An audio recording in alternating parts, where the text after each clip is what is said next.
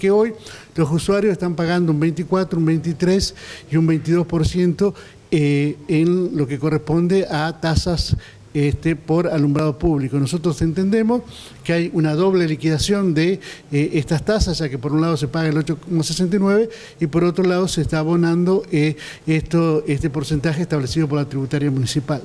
Si bien es cierto que este 8,69 va a componer un 8%, que es lo que la, em, la, empresa le devuelve al municipio como compensación, porque no pagan tasas, las empresas distribuidoras de energía no pagan tasa, le devuelve un 8% al municipio en concepto de retribución, de compensación por el uso del espacio en la ciudad de Paraná. Nosotros entendemos que esto es una responsabilidad que la debe asumir la empresa, no los usuarios, entonces creemos que eh, si bien eh, no estaría a nuestro alcance o no es potestad del Consejo Deliberante intervenir precisamente en lo que es el convenio de concesión, ya que lo firmó provincia con adhesión de los municipios, pero sí es una potestad nuestra, eh, otorgada por la ley 1027 y sus modificatorias, la de fijar la tributaria, es decir, las tasas que deben abonar los ciudadanos. Entonces entendemos que una medida por lo menos paliativa,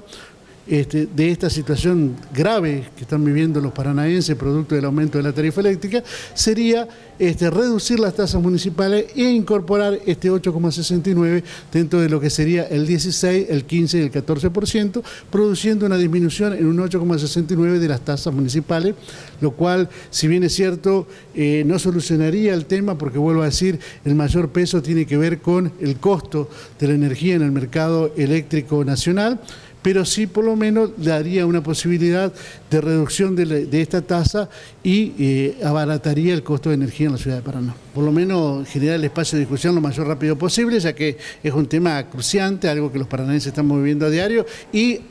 cada día se van multiplicando más las manifestaciones de, de los ciudadanos en función de lo que ha venido en la tarifa eléctrica, que hace que prácticamente imposible cubrirla o pagarla, este, más aún cuando en estos tiempos el uso de la energía es algo vital para muchos hogares.